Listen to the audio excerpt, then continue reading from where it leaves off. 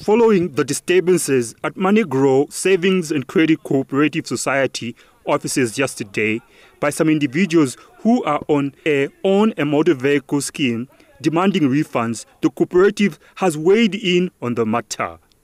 We had agents. These were our faces for the cooperative. These are the people that would go out there and sign up members to grow the member base. Okay, uh, these are the people that now ended up um, creating fake receipts, and that uh, translated into the money not reaching the cooperative. Huge sums of money were actually coming from fake receipts, and this is money that did not hit the cooperative. This caused the whole car scheme not sustainable because, look, you pay 30%, okay, on a fake receipt. It simply means that 30% has not hit the cooperative. Meaning the cooperative was now, you know, uh, subsidizing almost 100%. Because if the 30% has not come in, it is on a fictitious receipt. It means someone has got to take responsibility.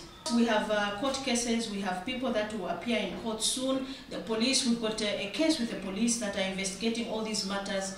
And we continue to unveil evidence to the police so that we allow the, the law to take its course. She has also detailed how the motor vehicle scheme works, especially on deposits. We are saying if you paid a 30%, you top up a 40 to make it 70%.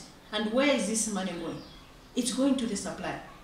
It's going straight to the supplier. It's not even coming to the cooperative. And once that process is done, you immediately get your car. She has reassured the individuals who have demanded refunds of payments. So to our general membership, I would like to clearly state here that stay calm. Give us time to work. It was only last week that we had engaged with you through the meeting.